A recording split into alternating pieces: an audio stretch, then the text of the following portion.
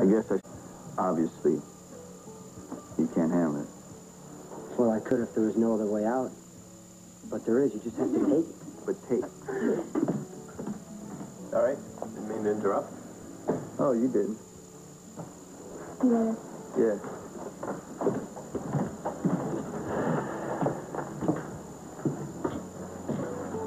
She looks happy, doesn't she? Yeah, I guess so. You know why? Because she's married? And not to me. I almost destroyed Brenda, too. If I'd made a different choice, she'd be dead instead of Lily. I kill everybody I get near.